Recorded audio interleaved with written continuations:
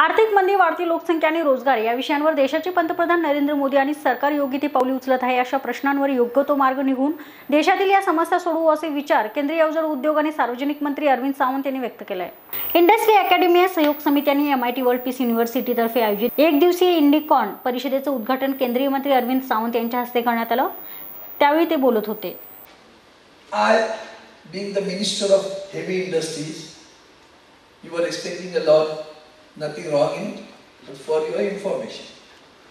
In my heavy industry, I have a 31 industries with me, out of that 19 have closed down.